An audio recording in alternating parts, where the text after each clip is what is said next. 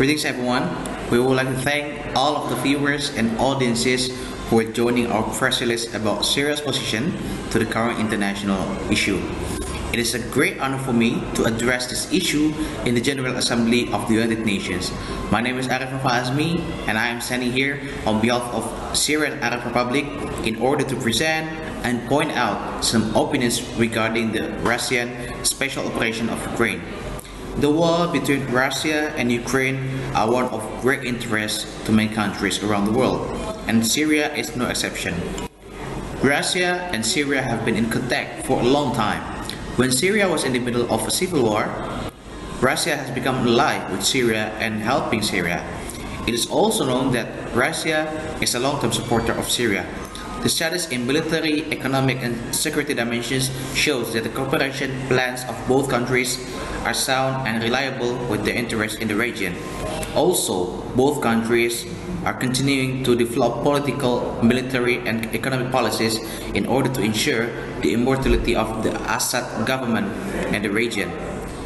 Withdrawal of Russian troops from Ukraine should not be carried out because in the aftermath of the Russian and Ukrainian conflict, Syrian President Bashar al-Assad immediately expressed his support and praise for the decision of Vladimir Putin, the Russian president who invaded Ukraine. Syria feels that what Russia did about special operation was right based on Russia's position.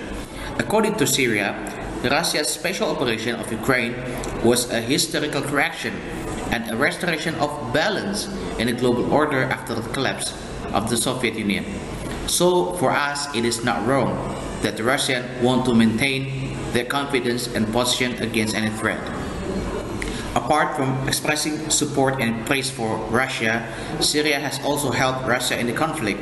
When Russia wanted to recruit foreign mercenaries from other areas to take part in the Russian and Ukrainian wars, troops from various countries want to join and fight with the Russian army, especially Syria.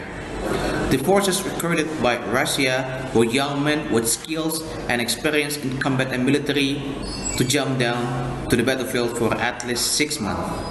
It is also known that several mercenaries from Syria are already in Russia and being prepared for the fight with Ukraine. We hope the Russians will get what they deserve in terms of historical corrections, and we believe that the actions made by Vladimir Putin as the president of Russia have been considered for their own country. And the Russians are not withdrawing their country's troops from Ukraine. Thank you.